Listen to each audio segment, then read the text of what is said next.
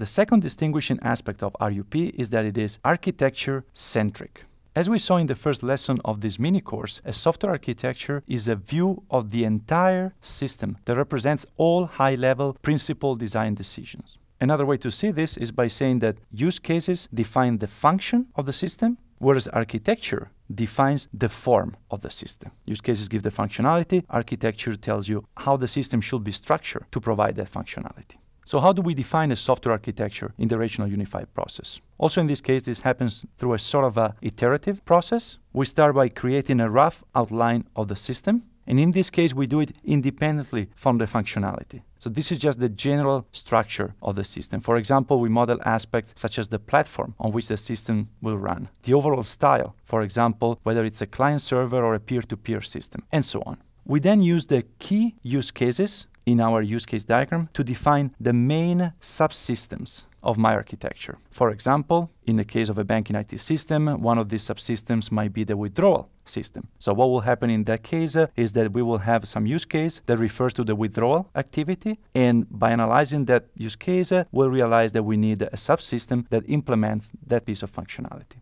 So again, we use the key use cases to identify and define the key subsystems for my architecture.